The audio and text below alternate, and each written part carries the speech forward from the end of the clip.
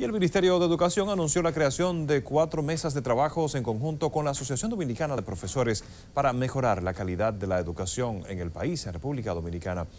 Entre las prioridades a ser tratadas en esta mesa están la formación docente, el desarrollo del currículo por competencia y la gestión de centros sostenibles. Navarro informó, además, que durante este año 2017 no habrá aumento para los maestros y que se contratará una empresa consultora para evaluar a los profesores de acuerdo a su desempeño.